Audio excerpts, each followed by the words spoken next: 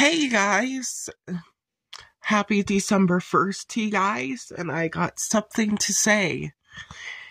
If you guys mix a Barbie and a Bratz doll together, it makes a My Scene doll, and I'm just saying. So, yeah. Bye.